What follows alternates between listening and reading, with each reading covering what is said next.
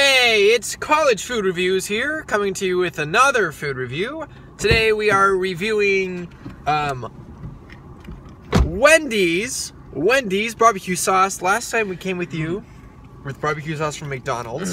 So we're we're actually doing a, a whole series here. Um, so Scotty's gonna review as many barbecue sauces as we physically possibly can.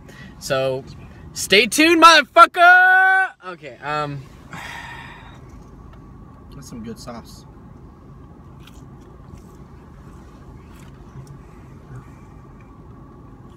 Oh wow. I see uh, I see rivers of blood.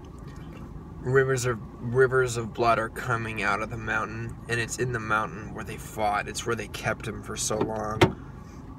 And there's there's smoke coming from the cauldrons, coming from the cauldrons of the witches, the witches and the goblins that that live in this mountain that take them, that take them and they cook them in the stew and they cook them in the goopy stew and turns to black tar this black tar is what they drink and this black tar